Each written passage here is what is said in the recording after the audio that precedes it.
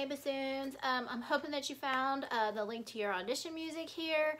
Um, and I really hope that at home you have a printer so that you can print um, yourself a version so that you can uh, mark things on there. Um, if not, I understand, but if it's possible, um, I think you should really try to have um, a hard copy, again, just so you can mark things so you don't, you know, forget and practice things incorrectly. Okay, so with my hard copy, I've gone ahead with my pencil, and if you could please number all your measures all right I know they kind of did it for you at the beginning of lines two three and four but go ahead and number the rest of them um, so that the last measure should be number 16 there um, so that if when I'm calling out measure numbers talking about uh, rehearsing some of this hopefully you can find it pretty quickly and uh, you won't get lost uh, with what we're talking about okay?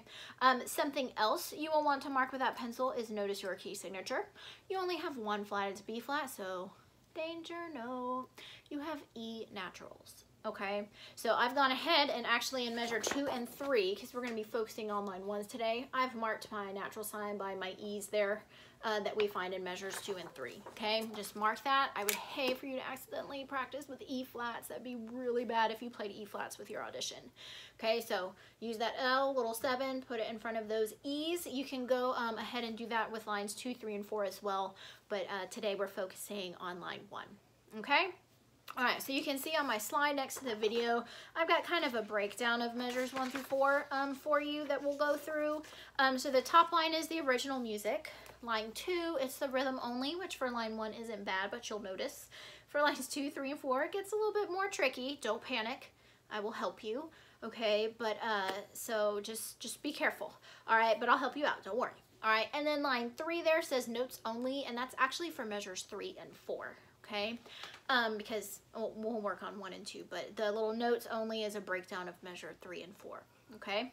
All right, so um, first things first, uh, let's make sure that when you're uh, practicing this, you must be using a metronome because again, especially as we're getting down towards the more uh, trickier rhythms, like with the 16th notes, I want you to be really, really precise um, with your rhythm. Okay, you can't just fly through this. I know line one looks kind of easy. You think you can go pretty fast, but remember, uh, in the end, when you're playing this all at once and not stopping, you want line one to be the same tempo as line four. Okay, so my metronome is gonna be set at 60. Again, just kind of a nice uh, middle, not too slow, not too fast tempo that I think you'll actually, you'll even be able to play um, like line four at. Okay, so um, I'm at 60. All right, so let's check out the rhythm only there for line measures one through four. Uh, let's get ready to count and clap. Analyze it, check it out. Got it? All right. Here we go. Count and clap, rhythm only. One and two and count it. Here we go. One,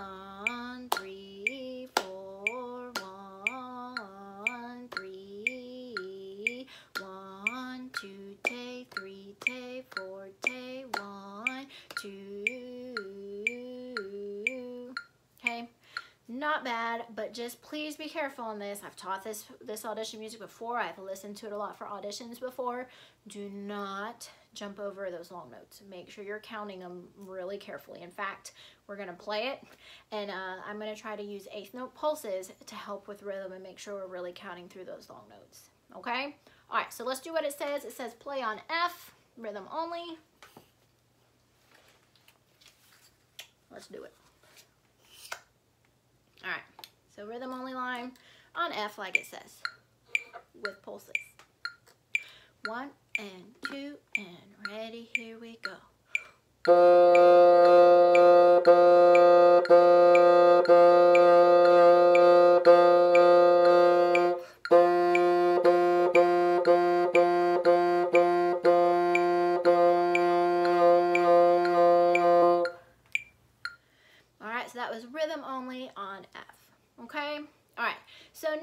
Let's go back, look at the original, okay, and let's look at measures one and two and put notes and rhythms together, okay? All right, so we're starting on flicked A, okay? So you gotta make sure you kind of hear that high A in your head before you play. Make sure you got your face, fast air embouchure set, and don't forget to flick. Okay, so it's A, and then you all gotta also flick that high C, then it slurs down to F, and remember what kind of E? Natural E, and then F okay? So have to make it pretty smooth there between those first two notes, the high A and the C, okay? And then should be fine on the F, E, F. Ooh, It's almost like our long tone A. Okay, all right, so let's say and finger those first two measures.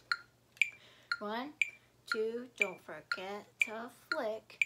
A, C, F, then it's E natural, F, stop.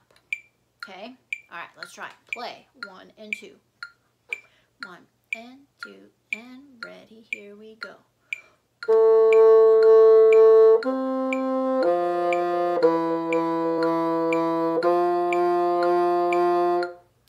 Okay, practice with pulses. Make sure you did that slur and E natural. All right, so now look back down to the third line where it says notes only and we'll start looking at measures three and four, okay? So it gives you just kind of every note that you find in measure three and four, but in half notes so you can kind of do a slow walkthrough, which this case is pretty good because it is going up to a high D. Might help your brain and your fingers kind of just to go slow here in the half notes for a minute. So let's check it out. Starts on C, no problem. E what? Natural. Then half hold G, make sure you put resonance down. Jumps up to flicked B flat. And then high D, remember you can flick that one as well. It's gonna be that very top thumb, that fifth one if you have it.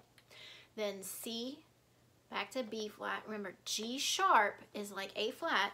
Use that far pinky down there. And then you land back like you started the line on flicked A. Okay, all right, so let's walk through it in the half notes with our metronome. So say and finger half notes ready, here we go. C, E, G, flick B flat, here it comes. You can flick high D, then C, B flat, then G sharp, and then back to flicked A. Okay, don't forget G sharp is the same thing as A flat. All right, let's try playing it the half note version. One, two notes only, here we go.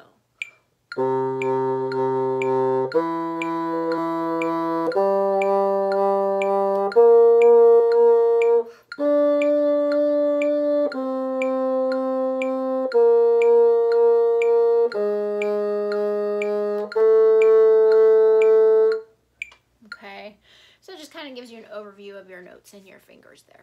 Okay, so now we got to put it kind of back into notes and rhythms. Look back up to the original for measure three, and let's just work on getting the notes and rhythms uh, going for the first four notes.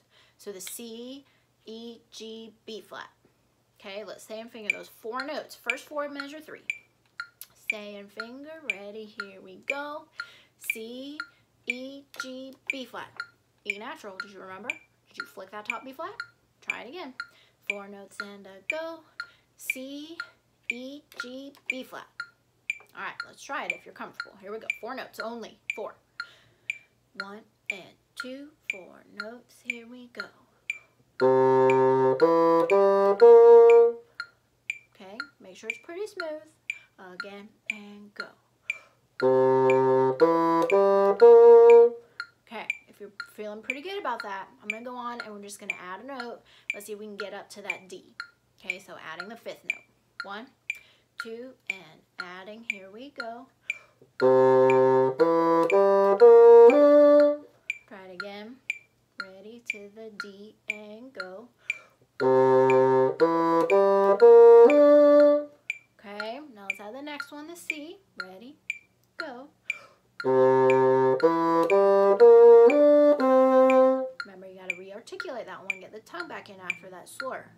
Again, and go.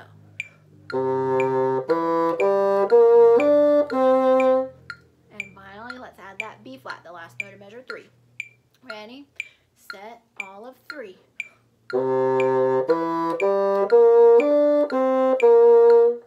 Alright, if you feel comfortable with that, let's go ahead and add in both of the notes from four, the G sharp and then A.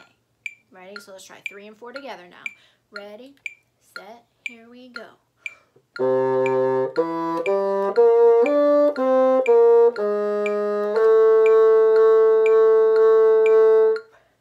right, so that measure three is the tricky one. If you need to slow it down, go back and just play three notes, whatever you need to do to make that measure three as almost as perfect as it can be.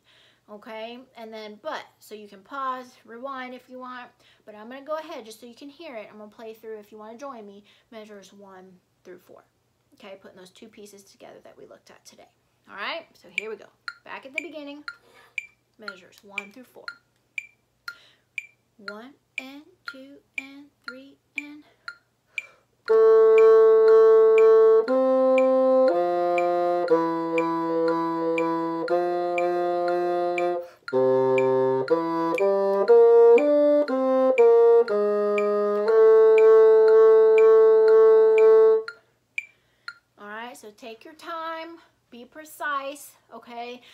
hope that helped you out with line one. I'll be back later with uh, some more, okay? Bye, guys.